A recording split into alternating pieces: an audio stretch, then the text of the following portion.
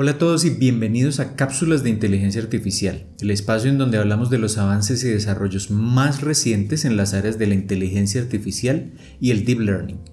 En este video hablaremos de un método desarrollado por los investigadores de NVIDIA que permite tomar bocetos hechos a mano y generar fotografías que parecen reales, algo como esto.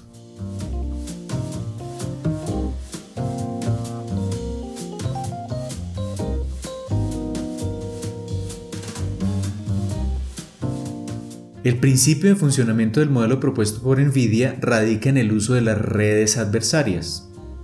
En un video anterior vimos cómo estas redes adversarias permiten, a través de la competencia existente entre un generador y un discriminador, generar, por ejemplo, imágenes de rostros partiendo de simples entradas aleatorias.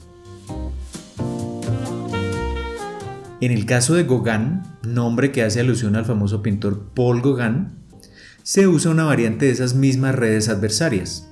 Sin embargo, en este caso la entrada no es un dato aleatorio, pues la idea es que la fotografía generada guarde relación directa con el boceto dibujado por el usuario. Así, la entrada es lo que los autores llaman un mapa de segmentación, que es simplemente la imagen dibujada por el usuario en donde cada objeto pertenece a una categoría diferente, un árbol, una roca, el río, un césped, etcétera, etcétera es decir, es una imagen etiquetada. La magia de este modelo radica en Spade, que es la parte del modelo que permite generar imágenes realistas a partir del mapa de segmentación dibujado por el usuario. Spade es un generador que toma el mapa de segmentación y lo introduce en diferentes etapas de procesamiento, con lo que garantiza que la información del boceto dibujado por el usuario es preservada durante todo el proceso de generación.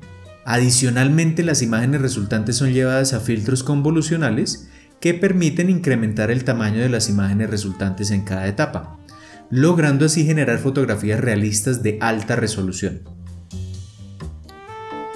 Pero veamos en acción este modelo.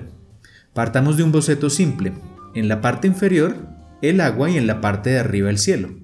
A la derecha podemos ver el resultado de usar Gauguin pero el resultado comienza a ser aún más impresionante a medida que agregamos más detalles al boceto.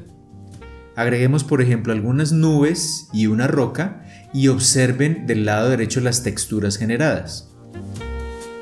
Incluso Gauguin permite hacer transferencia de estilos para que el paisaje generado tenga por ejemplo un tinte de atardecer. Sin duda este modelo propuesto por Nvidia es un desarrollo muy muy interesante, pues tan solo a partir de bocetos logra crear imágenes de alta fidelidad y con una muy alta resolución. Bien, esto es todo por ahora. Gracias por acompañarme y ya sabes, si quieres aprender más sobre la inteligencia artificial solo tienes que suscribirte.